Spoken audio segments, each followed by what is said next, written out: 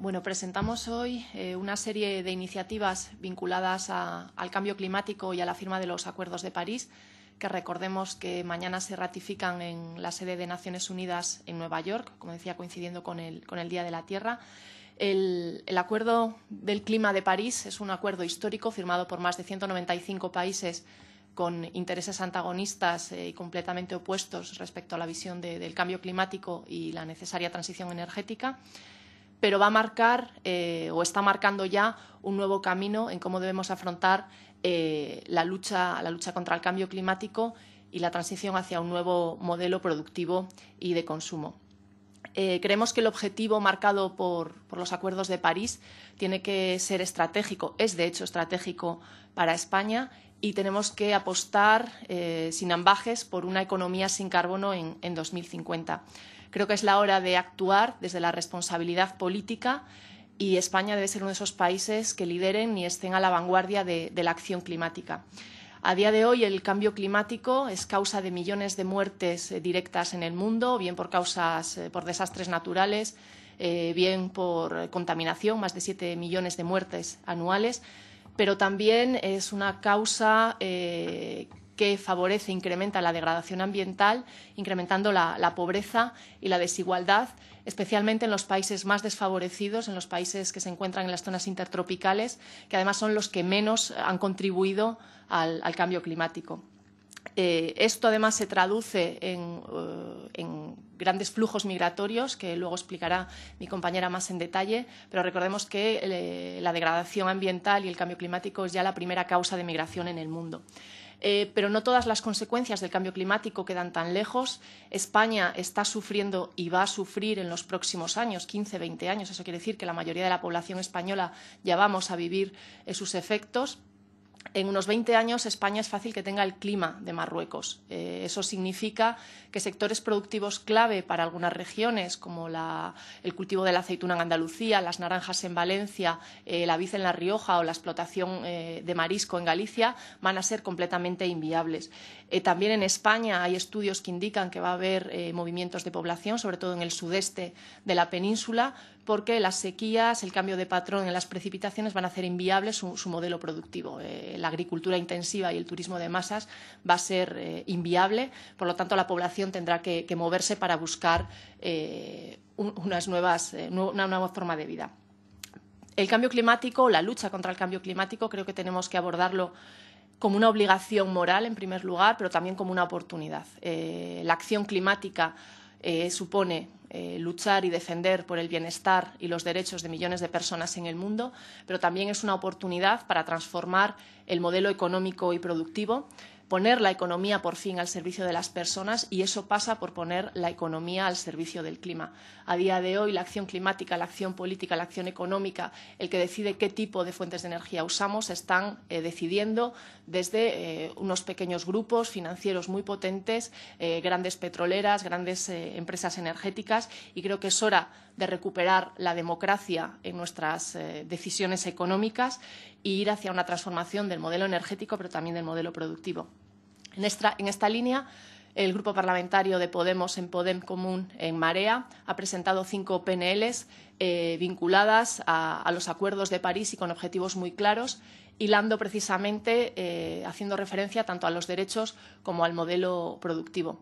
El cambio climático es algo más que la reducción de gases de efecto invernadero, es también, como decía, la lucha por la justicia social y cuestiones eh, que son claves hoy en día en el debate social y político en España, como es el oligopolio eléctrico y la pobreza energética, como es el desempleo, como son las personas refugiadas, inmigrantes o la igualdad de género, tienen también su cara de la moneda en la justicia ambiental y en el cambio climático. Hemos presentado, como decía, cinco, cinco PNLs, una eh, instando al Gobierno a llevar a cabo las medidas necesarias para cumplir los acuerdos de París, una más específica respecto a la transición energética necesaria que tenemos que llevar a cabo y otra para fomentar un plan nacional de empleos verdes que contribuirían a, una economía sin carbono en 2050 y que además eh, crearían dos millones de empleo. También una, una PNL para reconocer y proteger eh, a las personas refugiadas ambientales y climáticas y otra que tiene que ver eh, cómo afrontar eh, el cambio climático desde la perspectiva de género, porque las mujeres, como en casi todas las cuestiones que afectan a los derechos y a la desigualdad, son mucho más golpeadas por las consecuencias y el impacto del cambio climático. Eh, doy la palabra a mi compañera Yone Belarra, que explicará más en detalle la PNL de refugiados ambientales y climáticos. Gracias. Bueno, como decía mi compañera Rosa, eh, estamos ante una crisis ecológica sin precedentes en, el mundo y esta crisis no se ha producido de forma fortuita, sino que es una consecuencia directa de la acción de la humanidad sobre nuestro planeta y eh, consecuencia también de, ese cambio climático que, como decía, es consecuencia de, de, las acciones que ha llevado a cabo el ser humano. Esta crisis es ya eh, la primera causa de desplazamiento de personas en el, en el mundo, ha provocado el desplazamiento de millones de personas y por poner algunos ejemplos, ya en 2011 había 30 millones de personas desplazadas por causas medioambientales. Entre 2010 y 2012, solo en la, en la zona de Asia-Pacífico se desplazaron 42 millones de personas y se espera, según, según los datos más conservadores de ACNUR, que para 2050 haya hasta 250 millones de personas desplazadas por estos motivos. Esto no es algo que, nos afecta de, de forma lateral, sino que además en nuestro país, como ya, avanzaba mi compañera, en la zona de, del sudeste de, de España, mm, es posible que a causa de la desertificación y de la sequía vaya a haber también eh, personas que tengan que emigrar porque las, las, mm, los medios fundamentales de vida que hasta ahora han empleado, como el turismo de masas o, la agricultura industrial, como, como ya explicaba Rosa, eh, no van a poder seguir siendo los medios de vida para, para estas personas. Nos encontramos ante un problema fundamental y es que, siendo la mayor causa de desplazamiento de personas en todo el mundo no contamos con un marco jurídico de protección suficiente ni, ni suficiente, ni siquiera existente para proteger a, estas personas que se desplazan por, por, el cambio climático y por ello estamos presentando una, esta iniciativa, una proposición no de ley que, que vaya en esta línea. ¿no? El Acuerdo de París en su punto 51 ya avanza, es como, por así decir, el primer paso en, en la búsqueda de un, de un nivel de protección para personas que se desplazan por motivos medioambientales y dentro de los países a nivel interno entendemos que, con sus más y sus menos dentro de cada país el ordenamiento jurídico de derechos humanos protege a las personas que se desplazan por estos motivos, pero a nivel internacional las personas que tienen que salir de sus países por, por esta causa no cuentan con ningún, ningún medio ni ningún marco jurídico que les ampare y Por eso, eh, algunos países como Noruega y, Suiza, en el, ya en el 2012, avanzaron una iniciativa que se llama la iniciativa Nansen y que, y que lo que propone es em, empezar a elaborar una agenda que, que favorezca y permita la protección de personas que se desplazan por motivos medioambientales. En esa misma línea presentamos nosotras hoy esta proposición no de ley que lo que pretende es instar al Gobierno a que luche de forma activa contra el cambio climático, algo que actualmente, como sabéis, no se está realizando, a que España tenga un papel activo en, el desarrollo de la iniciativa Nansen y que, se inserte dentro de, del marco jurídico de la Unión Europea el concepto de refugiada medioambiental. Y en el fondo, pues a lo que instamos es a que se repiense no solo la política medioambiental y, la política ecológica, sino que además se repiense también la política migratoria eh, cambiar el enfoque y hacer entender que estas dos políticas tienen que ir de la mano porque de otro modo no vamos a poder hacer frente a, un problema que es ya eh, de unas dimensiones eh, prácticamente inabarcables para nuestro marco jurídico internacional y para, para al final las vidas de las personas. Gracias. Sobre la um, proposición no de ley que tiene que ver con con aportar una, un punto de vista de, de género precisamente a, a las acciones hacia el cambio climático, eh, una justicia climática desde una perspectiva de género, yo pensaba en, en una cosa que comentaba Mónica Oltra, porque nos podríamos preguntar por qué es necesario, aunque ya lo ha explicado bien Rosa al inicio, pero podríamos decir por qué es necesario dar una perspectiva de, de género a esta cuestión. Y Mónica Oltra contaba que, que en Valencia una de las del, de los logros que había costado bastante esfuerzo, que según quienes entendieran era que tenía que haber un un plan de impacto de género para cada medida que se desarrollase, para cada plan. Esto tuvo una, tuvo una anécdota inicial y es que ante un plan de evacuación eh, el plan de impacto de género se resumía en una frase que era no hay necesidad de plan de impacto de género. Y le pareció un ejemplo muy claro de que había que repensar esto, había que tenerlo siempre. Y es tan sencillo como que pensemos todas y todos quiénes son eh, las personas que por lo general llevan a nuestros niños, a nuestras niñas o también a aquellas personas que necesitan un poco de ayuda y solemos ser las mujeres quienes vamos cargando con las criaturas en los, en los momentos en los que hay que abandonar rápidamente los sitios. Por tanto,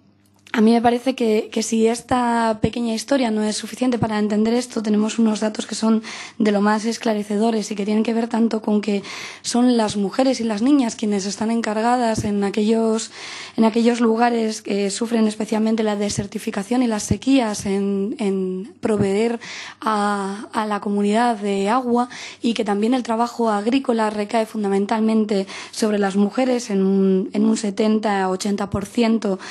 de la producción de alimentos depende de las mujeres en África subsahariana, 65% en Asia y 45% en América Latina. Pero además tenemos, tenemos datos que nos dicen que las mujeres y las niñas son quienes tienen 14 veces más probabilidades de, de, fallecer, de morir en catástrofes naturales. Y pensemos que en 2004, en el tsunami en Asia, eran un 70% de personas fallecidas mujeres. Un 70%. Y además ocurre que cuando hablamos de, de personas desplazadas, 20 de los 26 millones de esas personas desplazadas por causas eh, de cambio, por causas medioambientales y climáticas, son mujeres y que además son las mujeres quienes se encuentran en situaciones de mayor vulnerabilidad y peligro cuando, cuando pensamos en la trata de personas y en la violencia sexual. Eh, en este sentido, eh, pensaba en, en, una cosa que se decía durante la comisión eh, anual de la condición social y jurídica de la mujer hace cosa de mes y medio en Naciones Unidas, la CSW 60,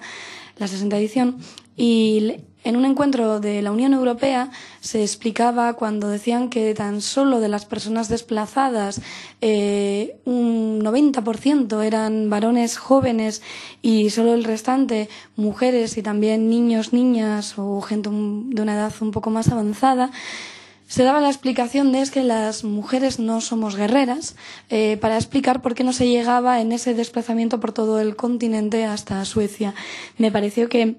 en un espacio que se estaba hablando de que el lema era el empoderamiento de la mujer, era preocupante que esta fuera la reflexión y no más bien qué tipo de, situaciones estructurales se dan por el camino en ese, en ese desplazamiento. Por tanto, además celebro que, que en esta proposición no de ley veo medidas más concretas, más resolutivas desde lo propositivo que los cinco días en los que pude asistir a esta comisión en Naciones Unidas y que tienen que ver tanto con reconocer esta realidad, que es necesario que exista un enfoque, una perspectiva de género a la hora de hablar de, del cambio climático y de sus consecuencias, eh, introducirla además eh, adaptando las, las acciones y la mitigación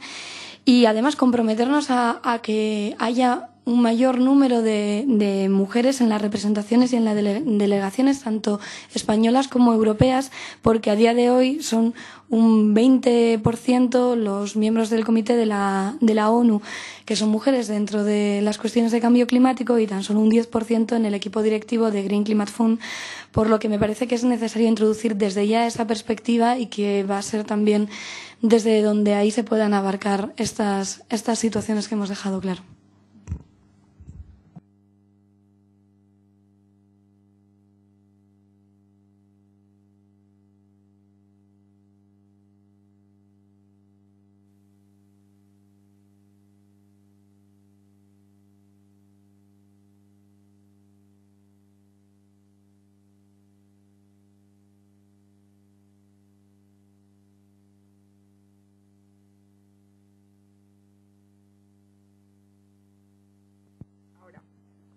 Que, la definición de refugiado, eh, yo las dificultades que me he encontrado a la hora de escribir con esto y querer llamar a la gente que se desplaza por el cambio climático refugiados, es que no está incluido un concepto medioambiental, no, no, hay, no está incluido. Y luego, además,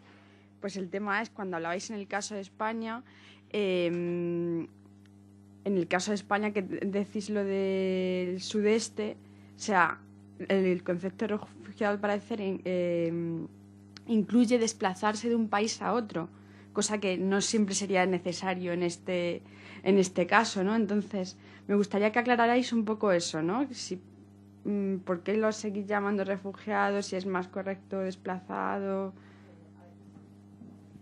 es un debate que está abierto a nivel internacional. La terminología, efectivamente, si hablamos de migrantes socioambientales, ambientales, climáticos, estatutos de refugiado, desplazados forzados, en fin, es, una categoría, eh, digamos que la palabra o el concepto de refugiados climáticos resume o eh, recoge un montón de, o diferentes eh, categorías y diferentes situaciones y casuísticas de las personas que, tienen que, que, se ven obligadas a abandonar eh, sus casas. Efectivamente, en el caso, por ejemplo, del sudeste español, serían simplemente eh, desplazados forzados o migraciones que vienen a ser migraciones económicas, pero que tienen su causa medioambiental. el, el impacto, digamos, mediático y comunicativo de usar el concepto de refugiado quiere decir que muchas de estas personas no pueden volver a sus casas. No pueden volver a sus casas porque simplemente está destrozada, porque son inhabitables o porque no tienen eh, de qué vivir. Entonces, más allá de que pueda ser un concepto comunicativo eh, y que impacta, eh, yo creo que es verdad que esconde diferentes realidades que darían para mucho más y efectivamente es algo que se está trabajando a nivel internacional y que yo creo que es una de las reivindicaciones que en el momento que hablemos de, de políticas migratorias se tengan en cuenta las cuestiones ambientales como una de las causas principales de migración.